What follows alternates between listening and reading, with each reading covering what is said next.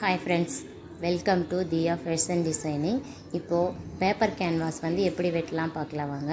நான் வந்து லைனிங் கிளாத்தை வந்து ரவுண்ட் நெக் அளவுக்கு கட் பண்ணி வச்சு பின் பண்ணியிருக்கேன்.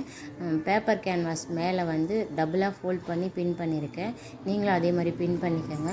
பின் பண்ணிவிட்டு நெக்கோட அளவு வந்து நமக்கு எவ்வளோ வேணுமோ டூ இன்ச்சு வேணுமோ ஒன் இன்ச்சு வேணுமோன்னு அந்த அளவுக்கு மார்க் பண்ணிவிட்டு ஷோல்ட்ரு அளவுக்கு நம்ம வந்து பேப்பர் கேன்வாஸை வந்து கட் பண்ணிவிட்டு ஷோல்ட்ரெல்லாம் எவ்வளோ பிடிச்சி தைப்போம் கால் இன்ச் அளவுக்கு அந்த கால் இன்ச் அளவுக்கு வந்து வெட்டிட்டு மேலே இருக்கிறத வந்து வெட்டி எடுத்துடணும்.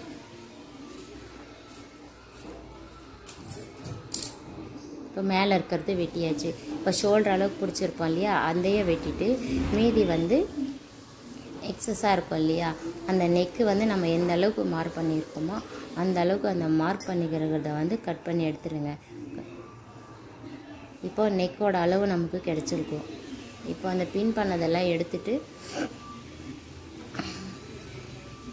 பின் பண்ணதை எடுத்துகிட்டு நமக்கு வந்து ஒன் இன்ச்சு வேணுமா டூ இன்ச்சு வேணுமான்னு மார்க் பண்ணிவிட்டு நீங்கள் அந்த ரவுண்டை வந்து கட் பண்ணிக்கோங்க. இதில் நம்மளுக்கு எவ்வளோ ஷேப் வேணாலும் நம்ம வரைஞ்சிக்கலாம். இப்போ வந்து நான் வந்து ரவுண்ட் நெக் தான் கேட்டிருக்காங்க. அதனால் நான் ரவுண்ட் நெக் வெட்டியிருக்கேன். உங்களுக்கு எந்த மாதிரி வேணுமோ நீங்கள் அந்த மாதிரி வெட்டிக்கலாம். வெட்டிட்டு இப்போ அந்த பின் எடுத்துகிட்டு இப்போ டபுளாக ஃபோல்ட் பண்ணோம் இல்லையா? அந்த இடத்துல வந்து நாச் பண்ணிக்கோங்க. அப்போ தான் நமக்கு நெக்கு வந்து கரெக்டாக வைக்க முடியும். வச்சுட்டு இப்போ பாருங்கள் அந்த ரவுண்ட் நெக் பாருங்கள் எவ்வளோ அழகாக வந்திருக்கு.